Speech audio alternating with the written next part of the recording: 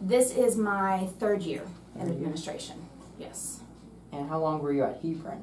Um, a f- close to two years. I was originally hired like in October, so close to two years. Um, there are so many, so many ways.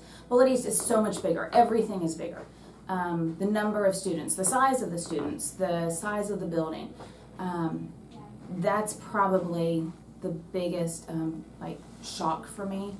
Um, is just everything is, um, you know, I'm still somebody asked me the other day, you know, who is it that's out, you know, on the bus stop with you? I was like, that one guy and that other girl. I don't know names yet. I was like, I don't have a clue.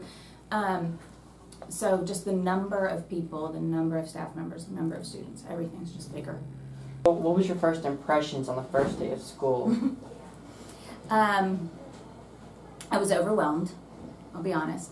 Because, like I said, everything was so much bigger and there were so many students. Um, and then the other thing was a bit of a culture shock coming from middle school to high school and seeing, um, you know, the number of people I wanted to say were out of dress code.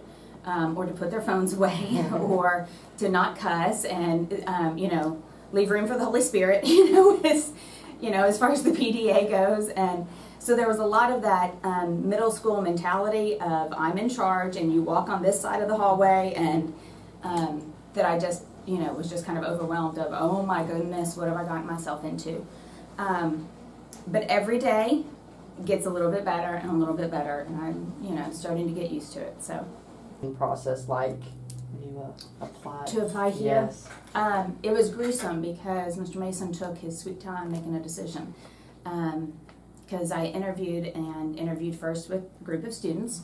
Um, that was probably the um, most nerve wracking going in, knowing that I was going to have to, you know, meet with some students. Um, but it was actually very, you know, it was enjoyable. It was like walking around, you know, the mall with my daughters or something. You know, just it was, it was fine.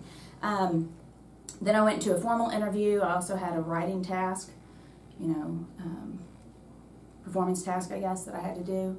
Um, and then the waiting began, and it was over um, over a week before I heard anything.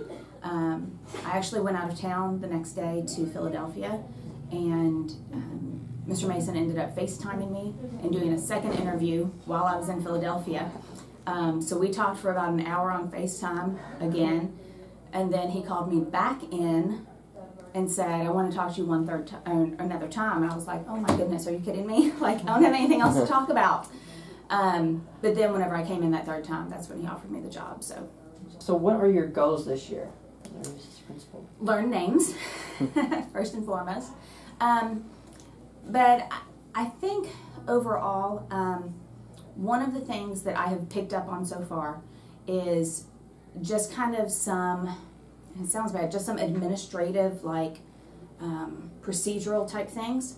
So, from an administration side, that. Um, as far as the school side, it's more um, of that culture piece. Um, I don't know what it looks like yet fully among the students. You know, I'm looking forward to the football game this Friday and kind of seeing what that, what school spirit is, and um, but I think that there's still a whole lot of students in this building who don't take pride and ownership of the building and recognize themselves as being a Bullitt East Charger. They don't take ownership of that, and from what I can tell, you know, what the big push is, is that that needs to be a way of life.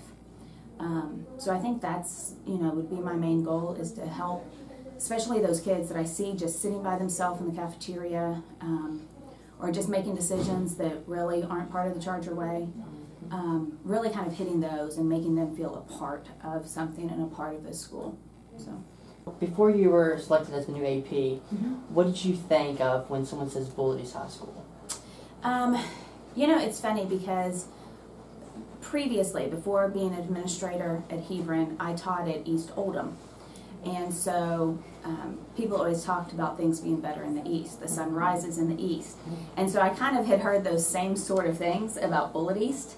Um, and so I'd heard what a great school it was. Um, Mr. Barger had really talked to me about that. You know, you will love it there. You would love it there. I really encourage you to apply. Um, But I'd heard just, you know, what a great school it was academically, athletically. Um, and so, you know, that's that's what I'd heard. And so to get the opportunity to be a part of that, I mean, how could why why wouldn't you want to be?